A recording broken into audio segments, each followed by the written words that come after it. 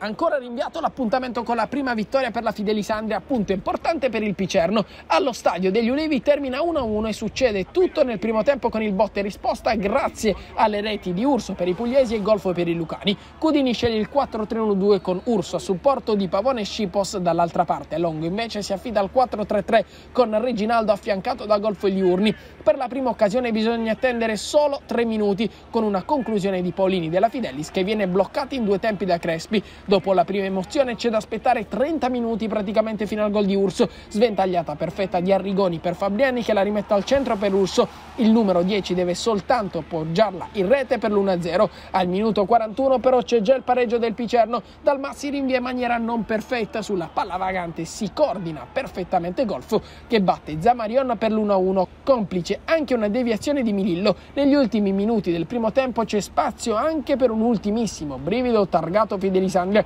Scipos a pochi passi dalla linea di porta si coordina ma non riesce a superare Crespi. A riposo si va sul pareggio. Primi 15 minuti della ripresa senza grandi occasioni e al minuto 61 che Scipos va in gol ma il secondo assistente sventaglia la bandierina indicando il fuorigioco e strozzando l'urlo in gol al degli Ulivi. Al minuto 68 prova a coordinarsi sempre l'attaccante numero 9 con il tacco ma la palla termina al lato. All'81esimo Bolcius chiama Crespi alla parata con un tiro da fuori sulla respinta. Candellori poi sbaglia tutto e alza la mira. Non si concretizzano gli assalti finali della Fidelis che forse avrebbe meritato qualcosina in più, ma al degli Ulivi il risultato non si schioda dal pari e al triplice fischio è 1-1 tra Andrea e Picerno che fanno un altro piccolo passo in avanti in classifica. Prossimo impegno a Francavilla per gli uomini di Cudini mentre i Lucani affronteranno il Monopoli al Donato Curcio.